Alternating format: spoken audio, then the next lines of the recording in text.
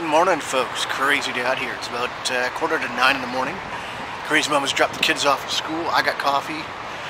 It is day 150. 150 days of straight vlogging, folks.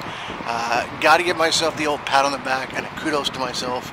Uh, pretty proud of myself. I mean, like I said, last year was pretty consistent. Pretty consistent. Didn't take that many breaks. But uh, this year, yeah, this year I'm pretty proud of myself, folks. I uh, hope you guys enjoyed it. I, obviously, the views are showing that, which is great. Keep that up. But uh, 9 to 3 for the rest of the week, which is nice. Get off at 3. It sucks, though, because of the way the system works out here. I don't usually get home till like 5. Oh, well. It is what it is, right? So we got blue skies and sunshine, and it's warm out, which is nice. But uh, I'm going to go chill for a little bit before I start work. They're all out to lunch.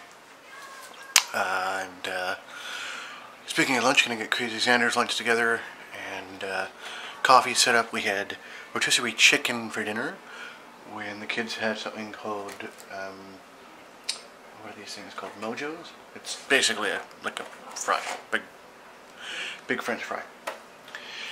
And we had some salad with kale and cabbage and fruit and nuts in it. And it was actually quite tasty with a poppy seed dressing. And what else? We had Tiger Tail ice cream, which is orange and black licorice. Uh, I'm not a huge fan of black licorice, but in this case, I remember eating it all the time when I was a kid. So, but yeah, this is going to end today's vlog because I'm knackered and I got stuff to do and gotta get up uber early tomorrow at about 6 o'clock. Be out of here by about quarter to 7.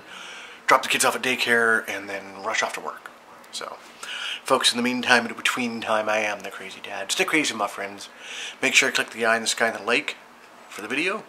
And as always, make sure you come back tomorrow for another one. We'll see you then.